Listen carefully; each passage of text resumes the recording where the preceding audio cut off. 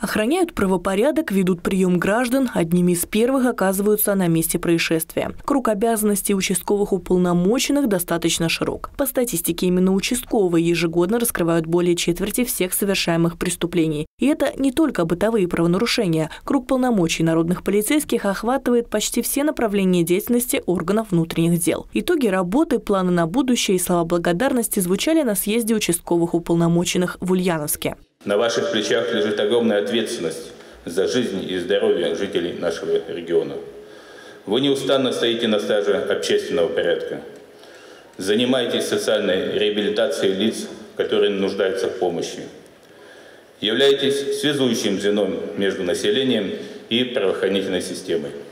В этом году ульяновские участковые пресекли более 16 тысяч административных правонарушений, а также провели работу с тремя тысячами лиц, которые состоят на профилактическом учете. Благодаря активной работе в регионе снизились количество тяжких и особо тяжких преступлений почти на 20%. Тем не менее, есть и проблемы, которые необходимо решать в комплексе. О них шла речь на съезде. Это в том числе нехватка кадров, некомплект личного состава более 8%.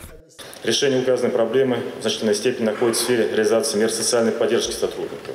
В их числе оказание содействия со стороны органов власти в части повышения привлекательности службы с целью привлечения кандидатов в подразделение участковых и числа лиц, проживающих на административных участках. Это, конечно, дополнительное материальное стимулирование участковых полномочных полиции страны правительства региона.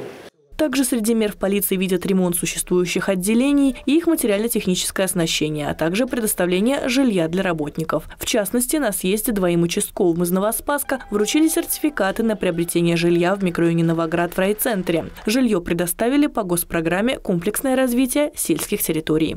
Анна Тищенко, Улправда, ТВ.